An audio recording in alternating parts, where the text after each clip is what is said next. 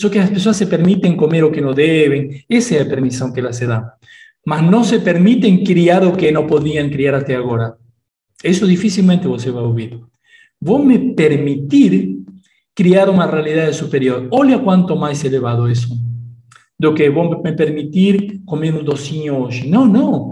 Se permita criar uma realidade, já que está se permitindo, que está elevando esse sistema de permissões internas, eleve mais para cima, leve mais para cima. Acima do que? Do sistema que operava em automático.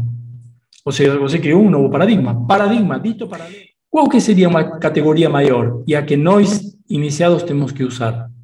Eu crio e confio no que eu faço. Não tem como, não, tem, não dá erro nunca isso. Para isso, observo, escolho, decido, defino, executo. Se você não consegue criar ou amplificar ou fazer passar esse sintoma, é porque